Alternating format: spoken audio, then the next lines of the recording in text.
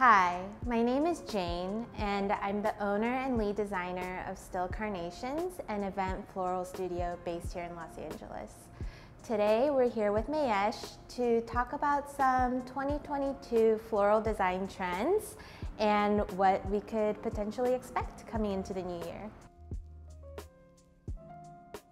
With a lot of postponed events resuming in 2022, I feel like this is really the beginning of the new roaring 20s. And as a part of that, we might see brighter colors, contrasting, saturated hues, and maybe instead of analogous color palettes like rust with blush and mustard, we might see complementary color palettes like blues with yellows and oranges, creating a little more color contrast and unexpected palettes.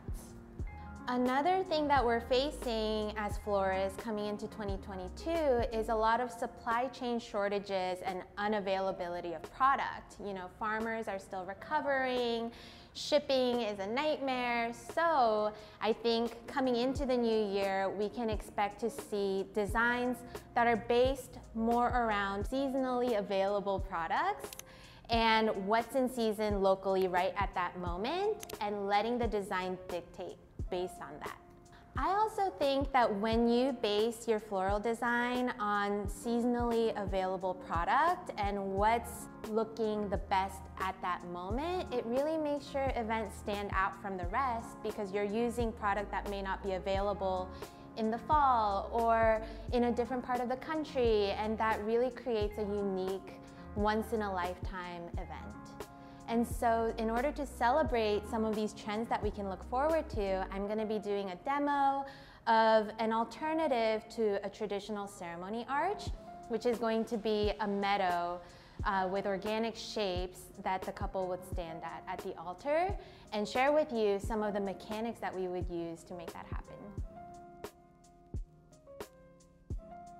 So right now, we're going to be building the base to what is going to be our ceremony nest. And the reason why we have this wooden board and not just the design tray is because with just the design tray, we, once we place it, let's say on like a beautiful ceremony lawn, we add product to it and it may tip forward or backward and we wanna stabilize it. So that's why I have this board right here. I just got this cut at Home Depot and I'm going to be making our base mechanics for our nest. Our tried and true handy dandy chicken wire. We're going to just bend it into a ball shape, making sure that there's multiple levels of chicken wire. I mean, you all know this if you're watching this. This is, this is our go-to mechanic. I'm just bending, bending, making sure that I don't squish it too much because we want that height so that the product can stand tall. So once that's kind of in there, I'm going to secure it with our trusty waterproof tape, going all the way around.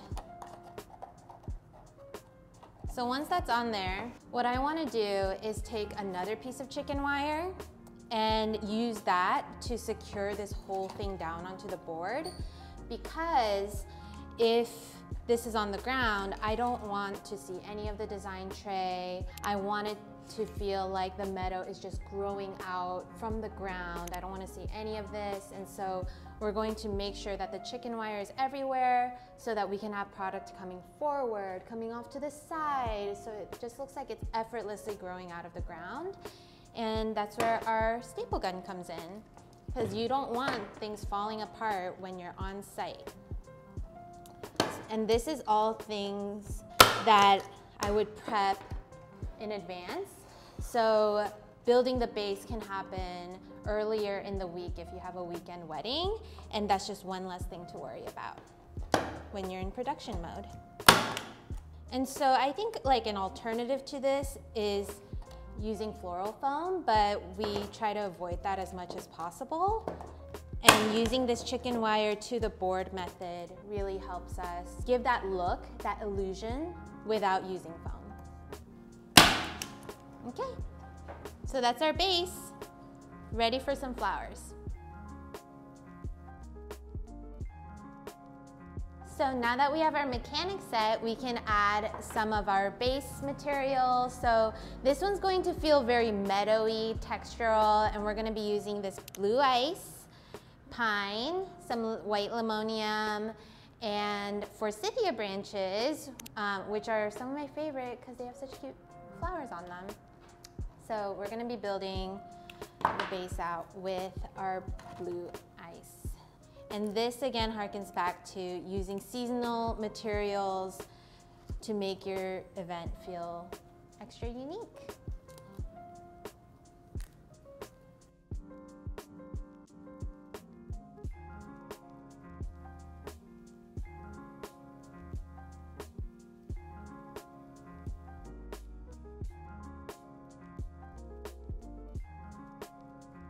So now we have our base flowers in our structure. We're going to be using maybe six of these structures to really create that ceremony nest. This is all stuff that can be prepped ahead of time, the day before the event, and that way when you get on site, you're not stressing for time. You just have to put in the flourishing touches, which is what we'll do next.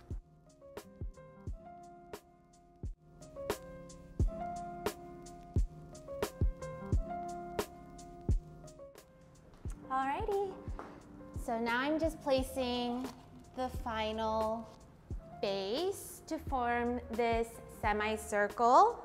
And then after that, all there's to do is add some flourishing touches like this amazing clematis pod to give it those final accents and create some airy movement.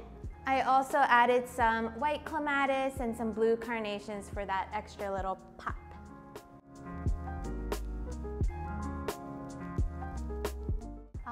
So thank you for joining me um, while I demonstrate how I build a ceremony nest. And I wanna say thank you to Mayesh for supplying all these gorgeous flowers for the video today. And I'll see you all next month for February's video.